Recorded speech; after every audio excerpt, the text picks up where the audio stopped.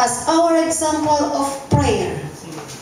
Because victorious Christians are those who are prayerful.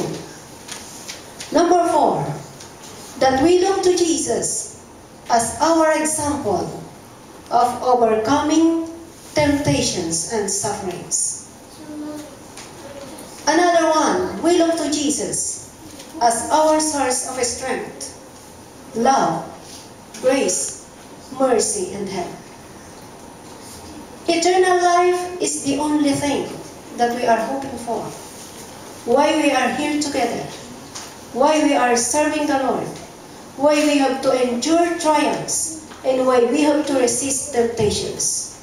It is only because of eternal life. Praise the Lord, and to God be the glory.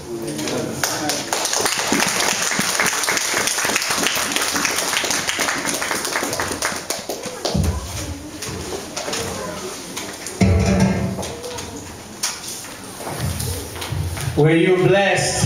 Yes. Were you blessed? Yes. Oh, what a word to my heart. There is one thing that will last eternal life in Christ Jesus our Lord. Amen. And let's take the wound of our dear sister Emma very seriously. It is not oh. those who start the race, it is those who finish the race. It is better you start slowly and finish victoriously. And this race is not about the show. It is a race run in faith and perseverance. That's all that matters. Faith fixed on Jesus. Amen? And perseverance in overcoming the temptations that befall us every day. I pray that we will wake up one day and we will see that crown ahead of us. And the Bible says there are so many witnesses cheering us Paul, Peter, all the Christians who have it and struggled and have died. They're saying, Come on, keep on walking. Get up, let's keep on going. Amen. Hallelujah. I think that I will, I, I don't want to add to what Emma said, but on Wednesday when I was talking to this having this interview with this fortune teller, you know. She said to me, Ahmed, maybe one day you will believe in me. I said to her, why? She said, because you already changed your religion from Muslim to be a Christian. So maybe next time you will believe, you will change your religion from being a Christian to believe in me. I said to her, done. Only time will tell. I said, you know what? When you have found food, do you go back to vomit?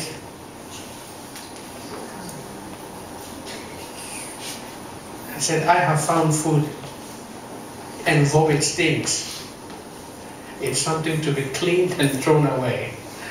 I said, I will not say never because I can convince you, but I have found Jesus. Amen. Anyone who comes to you, I said to her, does not have faith in God.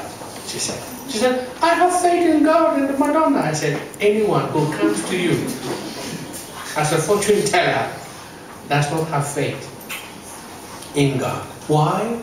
Because He is our provider. Because He is our healer. I might not have the healing today. I might not have the healing tomorrow. But there is one thing I know that God is my healer. Why? Because the Bible has said, by his stripes we are healed. So, what do I need a fortune teller for?